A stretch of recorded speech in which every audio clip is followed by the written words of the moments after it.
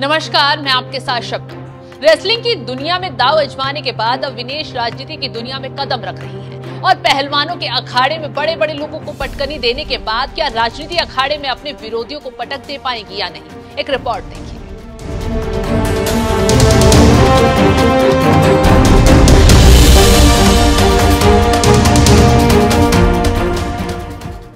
हरियाणा की राजनीति में ध्रुव तारा बनी विनेश की किस्मत काफ़ी खराब रही, क्योंकि जब उन्हें अखाड़े में प्रैक्टिस करनी थी तो वो जंतर मंतर में आंदोलन कर रही थी।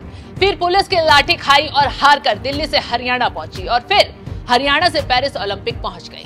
और रिकॉर्ड बनाते हुए फाइनल में डिस्कालीफाई हो गई। लेकिन किस्मत इतनी फूटी हुई थी कि फाइनल में डिस्कालीफाई हो गई, फिर ओलंपिक को लेकर पूरे देश में गुस्सा फूट पड़ा। खैर, भारत आई और रेसलिंग को छोड़कर राजनीति में हाथ अजमाने की सोची। फिर कांग्रेस में शामिल भी हो गई और अपने ससुराल जुलान से चुनाव लड़ रही हैं।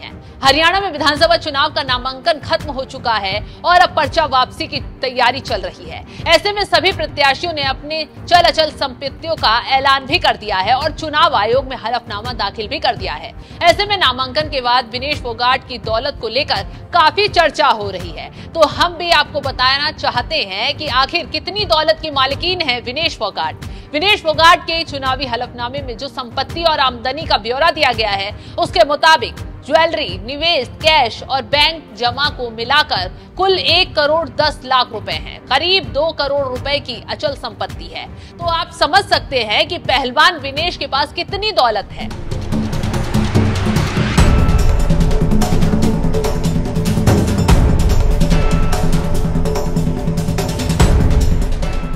विनेश के हलफनामे के दूसरे पन्ने में जो लिखा है, उसके मुताबिक विनेश फोगाट ने शेयर मार्केट में भी निवेश किया हुआ है। विनेश और उनके पति ने शेयर मार्केट में छह कंपनियों पर करीब 19 लाख रुपए निवेश किया है। इसके अलावा, विनेश फोगाट ने एक लाख पचास हज़ार का प्रीमियम इंश्योरेंस भी ले रखा है। पहलवान विनेश ने ये सारी जानकारी अपने चुनावी हलफनामे में दाखिल की है। अगर गाड़ियों की बात की जाए तो विनेश के नाम पर एक कार का कर्ज है। इनोवा कार खरीदने के लिए बैंक से तेरह लाख रुपए का लोन भी लिया हुआ है। अगर चार पहिए वाहन की बात की जाए तो विनेश फोगाट के पास तीन गाड़ियाँ हैं। इसमें से 45 लाख की वॉल्वो 12 लाख की हुंडई क्रेटा और 17 लाख की इनोवा गाड़ी है। इसके साथ ही साथ फोगाट के नाम पर एक स्कूटी भी है। उनके पति के पास 19 लाख रुपए की महिंद्रा स्कॉर्पियो है। पहलवान को गहनों का शौक नहीं है इसलिए उनके पास कुल 35 ग्राम सोना है, जिसका बाज़ार में मूल्य करीब दो लाख चौबीस हज़ार रूपए है, जबकि चांदी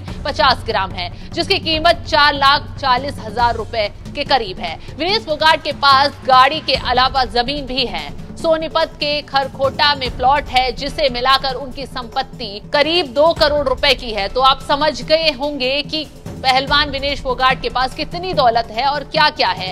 इसके साथ ही साथ पहलवानी छोड़ राजनीति में मैदान में उतरी विनेश फोगाट क्या यहाँ पर अपना दाव अजमा कर जीत पाती हैं या नहीं, ये देखना दिलचस्प होगा। फ़िलहाल जिस तरीके से विनेश फोगाट ने अपनी संपत्ति का ब्यौरा दिया है और जितनी उनके पास संपत्ति है, उस पर आपका क्या है कहना, कमेंट कर अपनी राय ज़रूर बताएँ।